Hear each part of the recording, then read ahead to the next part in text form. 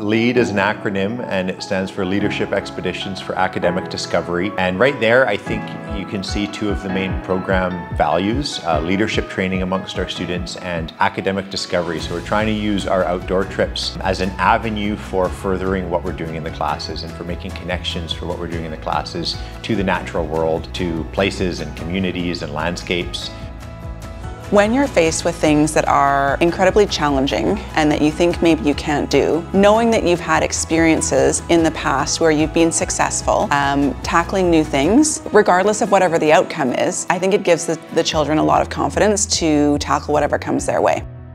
It serves both academic elements and personal growth elements. As a school, we look to work with students as whole people, not just students inside a classroom or not just students trying to serve a transcript need. LEAD programming gives us an opportunity to work with students in a complex environment and see them in lots of different facets. My first lead trip, we had to hike down a hill to collect snow just to boil down into like drinking water. And so we had to work together just to manage our water levels because the creek was dried out. I think if you can get along with people in the backcountry, you can definitely get along with people in a classroom a lot better. I think I learned a lot about um, myself personally and how far I can go, which I have been able to put into like other aspects of my life, like how far can I push my limits. Like the idea is you're off your phone, you're off your computer, you're off your iPad. And going out, hiking, it shows you so much more. It's not just about, oh, the perfect picture, it's about what you can actually see in real life.